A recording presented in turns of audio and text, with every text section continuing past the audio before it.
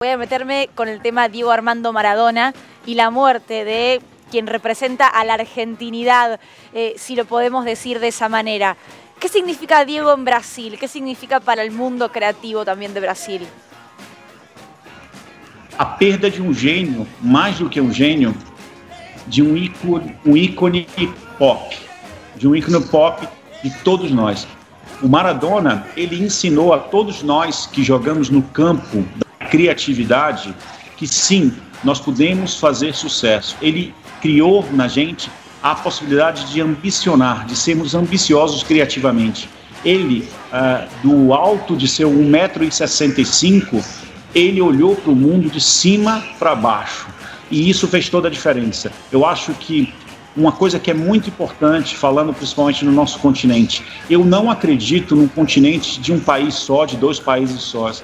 Eu acho que uma, o Maradona ele trouxe, principalmente aqui para o Brasil, a questão de querermos nós brasileiros sermos melhores, porque nós fomos desafiados pelo Maradona a sermos melhores.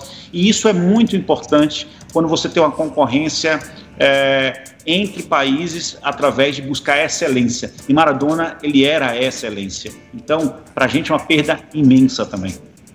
Eh, ¿Crees, Sergio, que Maradona puede inspirar eh, en este contexto, además de pandemia, a, la creatividad, a, a, salir a buscar? Eh, pienso en los jóvenes que por ahí no lo vieron jugar, pero que hoy empiezan a escuchar su historia, a ver sus videos. Eu acho que uh, a, a, morte é a morte, mas ele não morreu, ele sempre vai estar com a gente porque ele é um ícone muito importante. Mas a, a vida dele foi uma vida criativa e criar ambição e trazer ambição.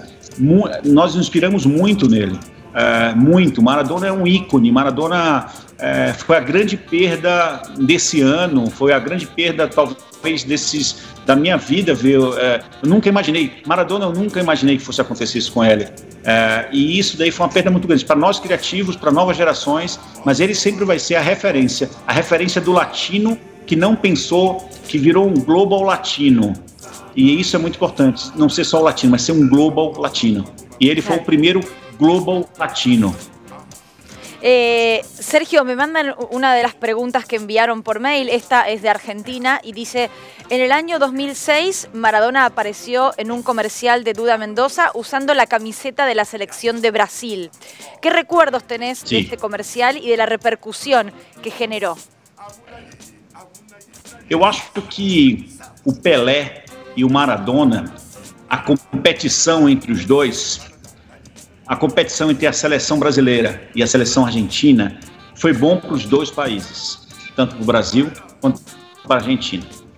O Brasil ganhou três vezes a Copa do Mundo e estava descansando até que vem a seleção de 78 e depois o Maradona e fizeram o Brasil acordar de novo, porque ele estava um, um, um, estava parado. E eu acho que isso foi muito forte. Aquele comercial que foi criado pelo Duda Mendonça, e eu conheço bem a história do comercial, porque eu, eu sou muito amigo do Duda Mendonça, é, ele foi um impacto, porque nunca uma brincadeira de usar, esse é o foto da criatividade, usar o Maradona, usar a camiseta da seleção brasileira, porque estava tomando Guaraná Antártica, foi a grande sacada. É um comercial memorável. Ele. Pena que vocês não fizeram com Pelé também. Outro, filmes. Y, lástima que después, Sergio, empezaron a ganar campeonatos ustedes. Ahora nos llevan un, una buena cantidad más de campeonatos. Brasil está mejor en el fútbol, hay que, hay que decirlo desde Argentina. Ustedes están mejor que nosotros.